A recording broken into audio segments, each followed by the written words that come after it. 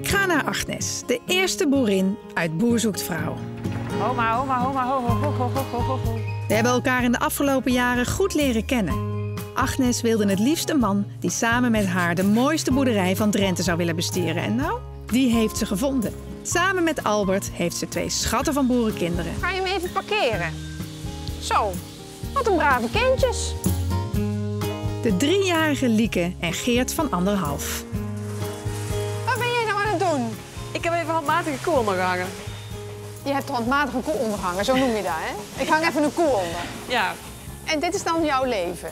Hier de koeien en daar de kinderen. En blijven die nou altijd zo braaf staan? nee hoor. Nee, die trekken lekker zijn eigen plan. Maar zij zijn uren van de dag met jou hier in de stal. Ja, en binnen en je gewoon hier ergens op de boerderij. Ja, ik ben ook zo opgegroeid. Ik krijg ondertussen weer een berichtje, dus ehm, Wat, de, de app weer een koe? ja, er staat nog een andere koe. Want wat staat hier dan? Nou, er zijn vijf of zes koeien, die heb ik een merker gegeven, dat ze handkoe zijn. Op de andere manier net zoals ze het ruiken en dat ik hier ben, dan horen ze ons praten. En dan denken ze van, hé, ik kom ook. Dus die, En dan krijg jij een appje, krijg ik die koe appje. moet nu gemolken worden. ja. Ja, dus techniek staat voor niks, hè. Dit, dit heeft helemaal... Ja. Hoezo word jij geappt door een koe? Ja. Ja, weet je, mijn vader die is echt met de hand begonnen met melken. En ja, wij zijn nou voor zulke technologie. Ja. Ik vind het helemaal niet romantisch. Nee, dat is het ook niet. Maar het is wel eh, heel makkelijk. Dit is echt nou ja, toch zo'n beetje de meest moderne stal die er is, hè?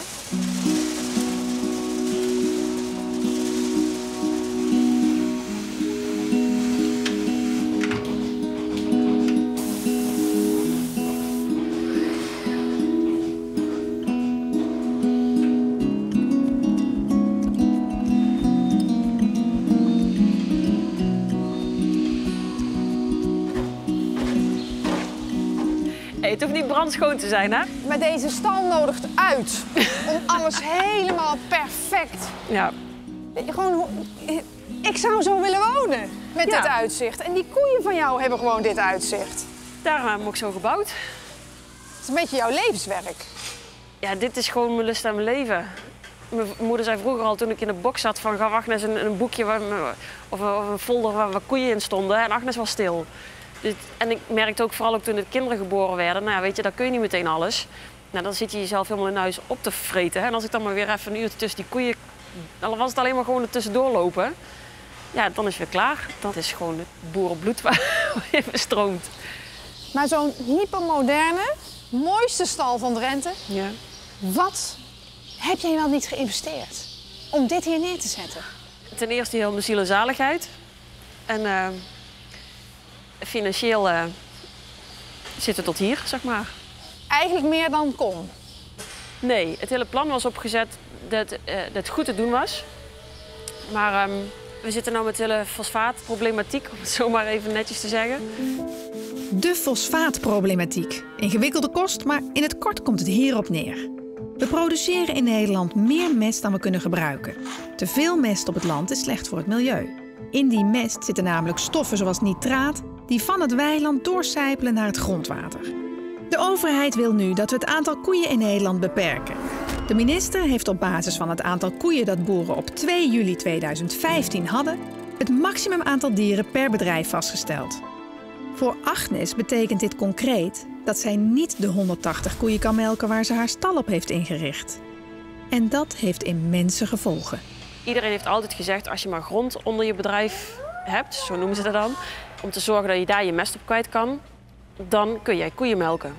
Nou ja, ik heb grond zat. Dus als Dit is allemaal jouw grond. dit is al, ja, zo'n beetje Alles wat ik kan zien is jouw grond. alles wat grasland is, is voor mij. Ja, En er zou genoeg zijn om 160 koeien op te laten schijten. makkelijk. Ja. Dan zou jij prachtig uitkomen. Ja. Maar dat mag dus niet. Nee. Als de situatie is zoals die nou is, dan is het ook einde 2018, einde Agnes en de boerderij. Want dan kan ik mijn rekeningen niet meer betalen. Ik heb, ik, ik, ik heb wel genoeg bezittingen, want ik heb een stal en ik heb grond en dat, dat kun je natuurlijk verkopen.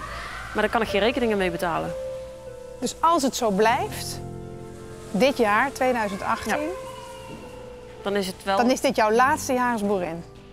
Ja, die kans is eh nou wat 80 procent. Echt 80 procent?